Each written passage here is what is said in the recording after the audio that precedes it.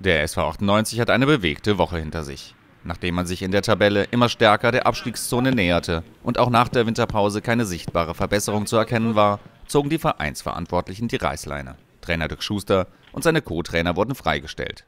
Nur ein Sieg aus den letzten zehn Spielen war einfach zu wenig. Wir müssen ja äh, gucken hier, ähm, wo fährt das Schiff hin ähm, wo ist es und ähm, ist es an der richtigen Stelle. Und wenn wir sagen, das Schiff ist an, im Moment an der falschen Stelle, aufgrund einer längeren Entwicklung der letzten Wochen, dann hat es nichts unbedingt mit einem Spiel vorher zu tun, sondern dann muss man ja ähm, gucken, inwieweit die Zukunftsprognose ähm, positiv oder negativ ist. Und wir haben sie erstmal hört sich jetzt hart an, aber ich glaube, das ist letztlich die, äh, der Kern der Entscheidung.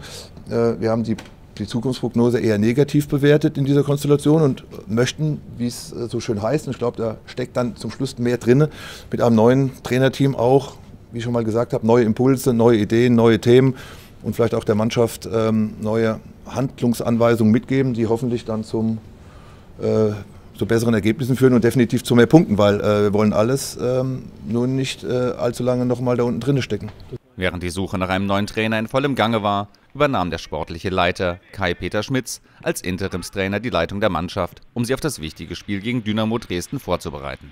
Die erste Reaktion der Mannschaft ist auf jeden Fall, ähm, dass sie jetzt weiß, dass sie in der Pflicht steht. Dass sie weiß, das ist auf jeden Fall jetzt der Zeitpunkt, um wirklich ohne Ausreden Vollgas zu geben und alles reinzuhauen, um endlich wieder ein Dreier einzufahren.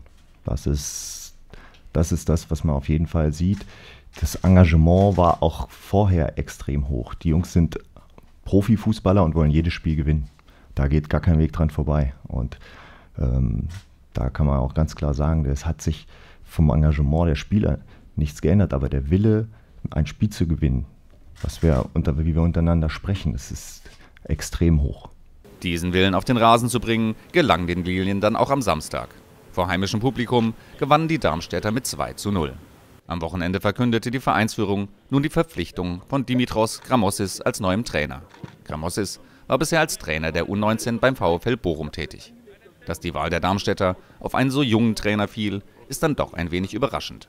Ja, natürlich äh, ist es eine sehr, sehr schöne Wertschätzung äh, vom Verein. Ähm, ich glaube, dass hier auch ein Plan dahinter, steht, äh, dahinter steckt unter dem ja, System Darmstadt 98 und das hat mich natürlich auch sehr, sehr positiv gestimmt. Dennoch bin ich mir der Lage bewusst, äh, dass es natürlich jetzt kurzfristig erstmal darum geht, die Mannschaft zu stabilisieren, ähm, so schnell wie möglich den Klassenerhalt zu schaffen und dann kann man sich, glaube ich, dann äh, ja, um die nächste Aufgabe kümmern. Aber die erste Linie besteht darin, jetzt erstmal kurzfristig äh, so in die Spur zu kommen, dass man dann auch dann ruhig planen kann für die nächste Saison.